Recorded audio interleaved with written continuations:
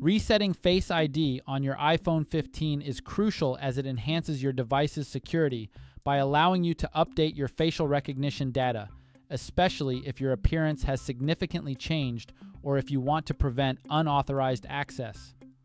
This can also come in handy when dealing with problems using Face ID Unlock and other relevant authorizations on your iPhone. In this video, we'll explore how to reset the Face ID on your iPhone 15 series and troubleshoot common issues affecting the iOS facial recognition functions. To begin, swipe up from the bottom of the display to get to the home screen. From the home screen, select Settings. Once you're in the Settings menu, navigate downwards and select Face ID and Passcode. The next step requires you to input your screen passcode. After this, scroll down and select Reset Face ID. Resetting Face ID on your iPhone essentially wipes out the stored data of your face that it uses for recognition. After the reset, your iPhone will no longer be able to unlock using Face ID.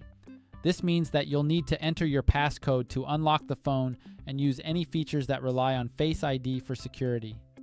If you wish to use Face ID for unlocking your phone, for Wallet and Apple Pay, or for password autofill, you'll need to set up a new Face ID as new. This can be done by simply selecting the Set up Face ID button and then following the rest of the on-screen instructions to complete the facial recognition procedure. If a Face ID reset doesn't fix the problem, resetting all settings can be considered among the last options. Resetting all settings on an iPhone puts all the customized settings back to their factory defaults, but without erasing your data. It's a good option if you're experiencing strange behavior with your iPhone caused by messed up settings, but don't want to go through the hassle of a complete data wipe. To do so, head over to Settings and then tap on General. Tap on Transfer or Reset iPhone and then tap Reset.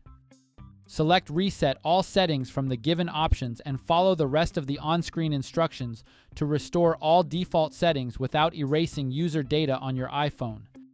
And that covers everything in this video.